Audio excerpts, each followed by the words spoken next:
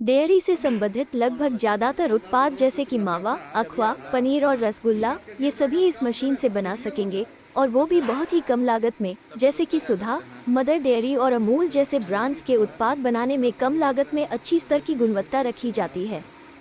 सिर्फ़ पाँच से आठ रुपए में एक किलो मावा बना सकते हैं।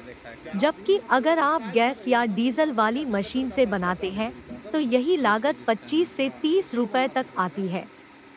हमारे मशीन को चलाने के लिए कोई तकनीशियन की ज़रूरत नहीं है। साफ़ करने में आसान और कढ़ाई के पास धुआँ नहीं होती। कढ़ाई के निर्माण के लिए फ़ूड ग्रेड की स्टेनलेस स्टील का उपयोग करते हैं। लगभग हमारे सभी कस्टमर संतुष्ट होते हैं, क्योंकि हम ऑफर्स नहीं क्वालिटी और सर्विस देते हैं। फ़ोन पर सपोर्ट सुबह से रात तक उपलब्ध है। हम ईमानदारी से बेहतर जवाबदेह में भरोसा रखते हैं।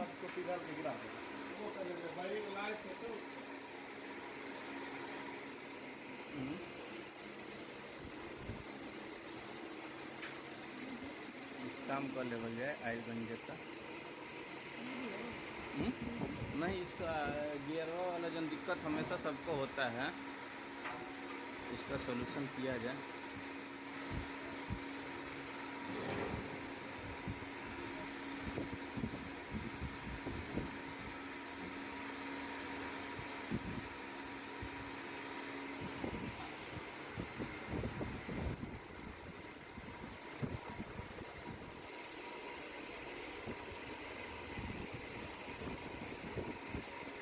वीडियो देखने के लिए आपको धन्यवाद।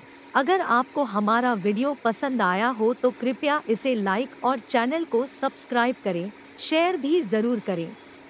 अगर कोई सुझाव हो तो हमें कमेंट करके ज़रूर बताएँ, हम पूरा प्रयास करेंगे सुधार लाने की।